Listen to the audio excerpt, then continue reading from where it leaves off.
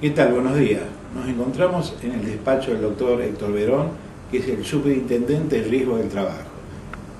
En programas anteriores hemos tenido presencia de autoridades y hemos comentado sobre las gestiones que realiza esta superintendencia, que tiene mucho que ver con la prevención desde hace un tiempo y que una semana por año dedica precisamente a la capacitación, a la concientización, eh, a que emblemáticamente todo el mundo eh, visualice, eh, focalice la importancia que tiene la higiene y seguridad en el trabajo. Héctor, muchas gracias por, por darnos esta nota y bueno, estaba haciendo alusión a lo que significa precisamente todos los meses de abril esa semana de prevención de higiene y seguridad en el trabajo. Sí, así es. usted sabe que esta gestión comenzó en, el mes de junio del 2003. Por lo tanto, eh, en el año, sobre el filo del 2003, diciembre, lo que hicimos fue institucionalizar la semana, la semana de la salud y la seguridad en el trabajo en la República Argentina. Esto tiene que ver, la institucionalizamos a partir de entre, la semana entre el 21 de abril y el 28 de abril. Esto tiene que ver con una historia que tiene la Argentina. Usted sabe que hay una Ley de Higiene y Seguridad en el Trabajo, la 19587 del año 72, con su decreto reglamentario 351, lo que se hizo fue, en consideración a aquellos, este, aquellas entidades que venían trabajando desde hace mucho tiempo conmemorando el Día de la, de la Higiene y la Seguridad del 21 de abril, lo juntamos con el Día Mundial que es el Día Mundial el 28 de abril, de todos los eh, trabajadores eh, fallecidos en ocasión del trabajo, ya sea en accidentes o con enfermedades. Así que por lo tanto, eh, sabiendo digamos que el OIT ponía como fecha el 28 de abril, decidimos hacer que una semana, en la semana en la República Argentina, sean de actividades a lo largo y a lo ancho, digamos, para tener, digamos, el status quo de que realmente apostar a la prevención en lo que es el trabajo es, eh, digamos, lo más importante en la cuestión de la prevención de todos los accidentes y enfermedades que ocurren en el país y que debe focalizarse exclusivamente sobre la prevención y no dejar librado al azar de que los accidentes en el trabajo ocurren, digamos, por una como se ha visto durante muchos años, por falta de atención del trabajador, porque bueno, no cumplió con las normas el trabajador, cuando realmente sabemos que los accidentes de trabajo y las enfermedades de trabajo son evitables. Héctor, eh, ¿cuál es la magnitud eh, que, conocemos, pero para que los televidentes eh, puedan dimensionar de qué estamos hablando? Bien, yo en este momento no recuerdo cifras a nivel mundial, pero sí de destacar que, por ejemplo, eh, los muertos en accidentes de trabajo y enfermedades eh, son más numerosas que, las, eh, que los muertos en la guerra. Esto son cifras que habitualmente compara la OIT, que son cifras a nivel mundial. Nosotros en la Argentina, puedo hablar, por ejemplo, de las últimas estadísticas 2006 que hemos publicado recientemente, eh, tenemos una cantidad de accidentes mortales en ocasión del trabajo de cerca de los mil, realmente, para una cantidad de trabajadores de alrededor de 7 millones, bueno, esta estadística fue hecha con 6 millones de trabajadores. Hoy en día andamos con cerca de 7 millones 200 mil trabajadores dentro del sistema de riesgo de trabajo. Pero esta cantidad que yo doy, realmente, estamos hablando de 7 millones o de 6 millones de trabajadores, cuando en realidad esta es la cantidad de trabajadores que está dentro del sistema de riesgos de trabajo. Hay que tener en cuenta que hay cerca de 4 millones, 5 millones y medio de trabajadores que están en negro, no registrados, que si nosotros consideráramos o tuviéramos la estadística realmente de esa cantidad de accidentes o enfermedades que ocurren por fuera del sistema, creo que los números serían muy catastróficos para nosotros. Realmente pensar solamente en esa cantidad de trabajadores que son los no registrados, llamados trabajadores en negro, que habitualmente no tienen ni obra social, ni tienen vacaciones, ni tienen una aseguradora de riesgo de trabajo, no tienen nadie que... Las condiciones que tienen son muy inferiores a la... Exactamente, exactamente. Eso en cuanto a los muertos. Y los accidentados, bueno, esto tiene una Bueno, por supuesto. Este, en este momento muy no tengo un registro así muy, eh, muy claro, digamos, de la cantidad de accidentes que hubo en total, pero deben haber alrededor de cerca de 650 mil más o menos en el año 2006. Eh, vos hablabas de los accidentes y de las enfermedades, enfermedades profesionales. Hace poco ustedes hicieron una jornada con un experto español que hablaba específicamente de un tema, que fue del asma ocupacional, y que ellos estaban generando un registro porque siguen tener una información eh, actualizada, no podían hacer seguimiento, monitoreo. Y hablaba que el problema que había en España era de subregistro, es decir, cosas que no, se registraban. En nuestro país es una historia que también se repite, pero vos también comentabas que hay subdiagnóstico. Exacto. Y a ver, cuando uno a veces mira la estadística argentina, y la compara con otras partes del mundo, igual que estoy hablando de estadísticas en Argentina, en este caso con la gente que está dentro del sistema de riesgo de trabajo, son estadísticas bastante fehacientes por el tipo de registro y eso ahora lo estamos mejorando también, el registro de enfermedades profesionales. Tenemos poca cantidad, y esto yo siempre digo, no es porque, digamos, este, eh, digamos tenemos la mejor prevención en Argentina.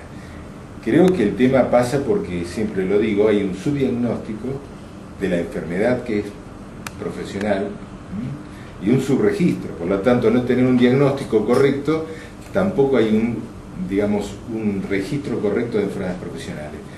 Y esto, bueno, eh, en el caso del experto español que nos visitaba, que hablaba de asma, eh, podemos hablar de asma y de otras patologías de origen respiratorio, ¿no es cierto?, que ocurren en el trabajo. Este, desde irritaciones, las vías respiratorias, neumoconiosis, ¿no es cierto?, enfermedades pulmonares provocadas por polvo, pero no solamente en esto, tenemos enfermedades provocadas por movimientos repetitivos, en miembros superiores, en miembros inferiores, eh, patologías provocadas por mal posturas, digamos, en el momento de trabajo, en la forma que se trabaja, enfermedades de origen toxicológico, ¿no es cierto?, por metales pesados, este, por gases, digamos, tenemos una variedad muy grande de trabajadores expuestos. Y el hecho de que nosotros tengamos ese bajo registro eh, es debido porque realmente no hay un diagnóstico correcto, oportuno, realmente como para tener un registro de estas patologías. Eh, cuando vos hablabas de que lo, central para ustedes es el tema de, evitar que se produzca la parte de prevención, eh, esto digamos que puede tener distintas implicancias en cuanto a los actores que tienen que ver en la parte laboral. Hablando del empleador, del empleado, en el caso de los registrados del RT, del mismo Estado. Eh, pero te diría que hagamos una pequeña pausa y así nos comentás cómo funciona cada uno de estos agentes. Sí, como... La Nación. Habíamos quedado eh, cómo es el rol de los distintos agentes que intervienen en la parte laboral desde el punto de vista del empleado, empleador, RT, Estado. Sí, bueno, eh, cuando nosotros hablamos siempre del tema de prevención, hay que tener en cuenta que los riesgos del trabajo habitualmente los pone el empleador, es decir, es aquel que pone los riesgos para que el trabajador, ¿no es cierto?, saque adelante un producto. Por lo tanto, esos riesgos están presentes en el lugar de trabajo, es decir, están presentes en la empresa. Entonces, por lo tanto, siempre decimos que el que debe hacer, en definitiva, prevención es el empleador. Es el actor que es, digamos, fundamental para que el trabajador no se accidente. Por el otro lado, por el otro lado, eh, el trabajador, ¿no es cierto?, debe cumplir con las normas también, por supuesto, que estipulen cuándo, en qué momento tiene que usar guantes, botines, etcétera, etcétera.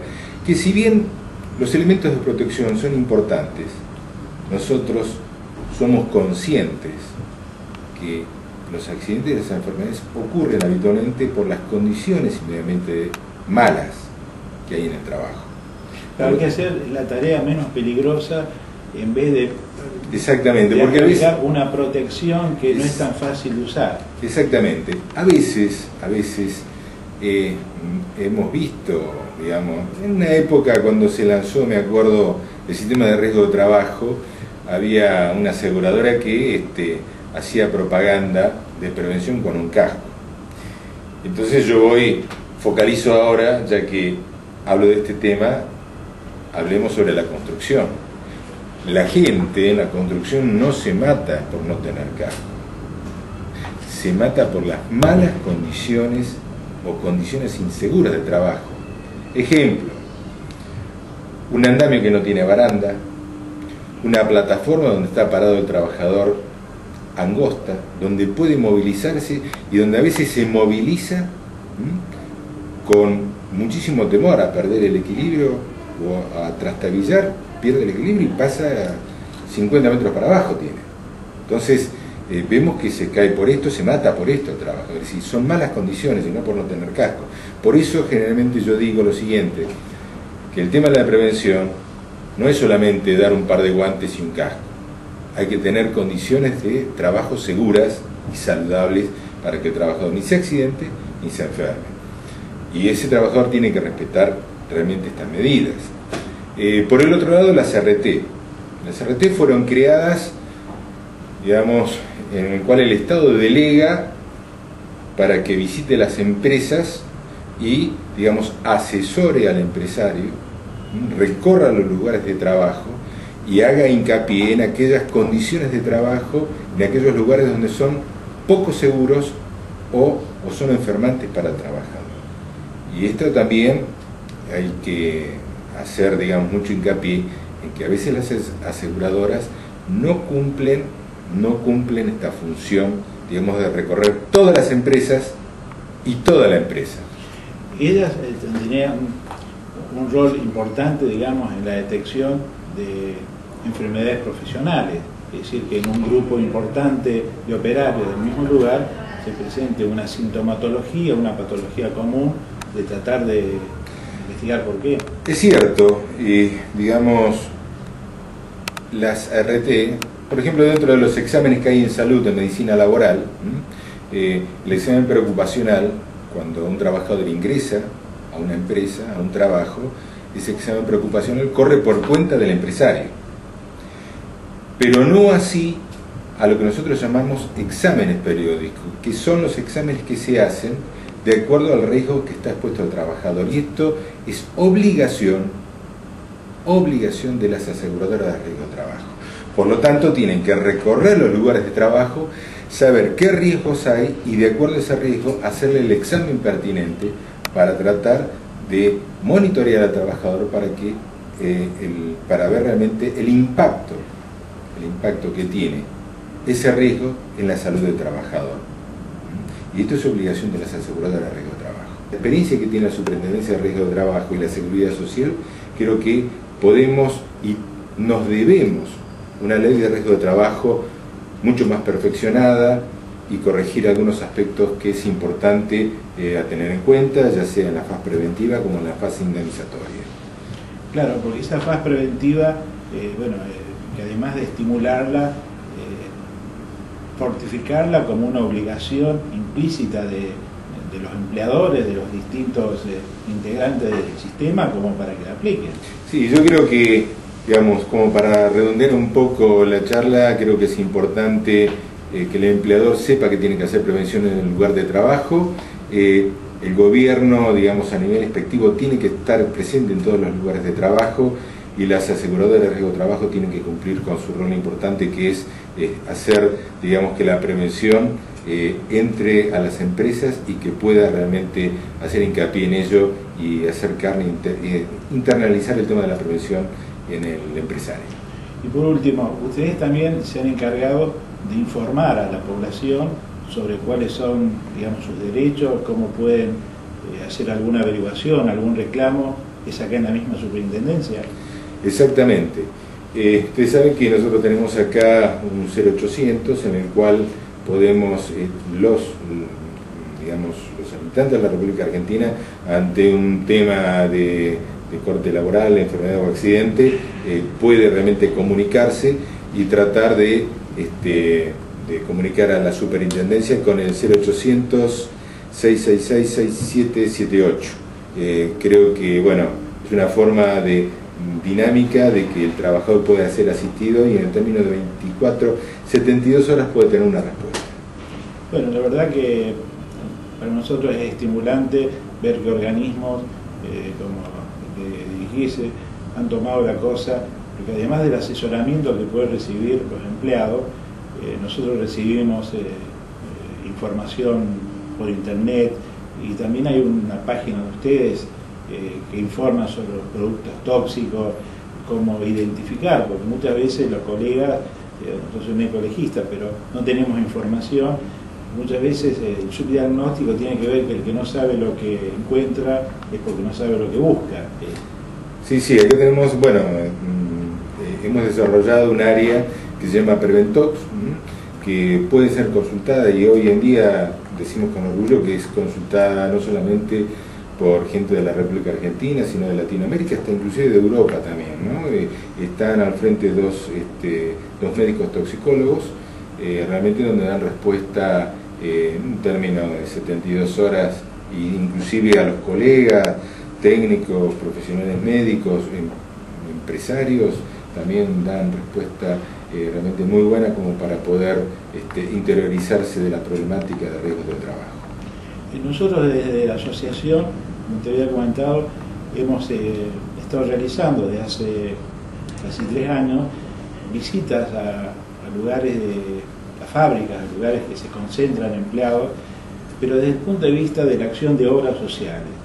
Eh, la, obra social eh, que quiere salir a prevenir la presentación de enfermedades ha tomado como una estrategia ir a los lugares que se encuentran sus beneficiarios sanos para transmitir información, que se mantengan sanos, y también hacer algún tipo de catastro, screening, para detectar eh, patologías que no están vinculadas al trabajo, sino a la edad y género, y que son epidemias, como es el tema de la sobrepeso, de la hipertensión, que muchas veces son desconocidas por los empleados y por, por todos, digamos. ¿no? Y hemos encontrado muy buena respuesta, hemos encontrado eh, bastante buenas adhesiones. Sí, sí, hay que tener en cuenta que, bueno, eh, hay empresas, empresas que tienen servicios médicos, realmente, y trabajador está acostumbrado a la consulta, por lo tanto es muy factible que la llegada de ustedes este, sea facilitador también de esa consulta y a su vez la obra social puede intervenir directamente, porque esto también tiene que ver con, por ahí la, atención de la obra social hacia el afiliado directo es también este, incorpora a la familia realmente al tema de una patología que puede ser de origen, como decías vos, de, ser la obesidad, el problema alimentario, eh, cosas también tiene que ver la, actividad sedentaria, eh, la hipertensión, acostumbrar realmente con alto consumo de grasas. Creo que eso es importante y bueno, creo que es estimulante para, para el estado sanitario de la población argentina. Bueno, yo realmente te agradezco eh, este tiempo y poder llevar un mensaje en el cual todos veamos que estamos involucrados, en distintas responsabilidades, en distintas obligaciones, pero todos tenemos que ver. Así es.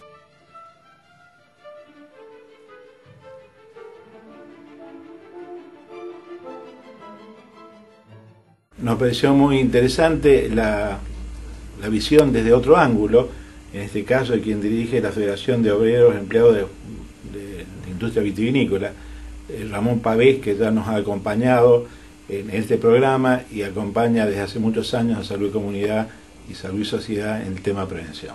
Habíamos estado charlando con, con Verón y era sobre cuáles eran los, los distintos actores en el tema de seguridad laboral y él hablaba de las RT, hablaba de la superintendencia y también de la parte de los propios empleados, las organizaciones gremiales. ¿Cómo lo ven ustedes? Bueno, la idea, nosotros también hemos estado, tenido la visita del superintendente la semana pasada y estamos trabajando, este, eh, estamos, estamos tratando de, capacitar este, a los trabajadores porque creemos que es la forma de evitar eh, riesgo y este, creo que queda mucho por hacer este, de, ambos, de ambos sectores. Hay muchos trabajadores negros y este, eh, creemos que sí eh, existiendo, por lo menos en el gremio nuestro, un 30% negro. Y eso no solamente no tiene ART, no tiene jubilación, no tiene obra social, y en eso hay que trabajar profundamente para que ese compañero tenga todos los beneficios que le corresponden.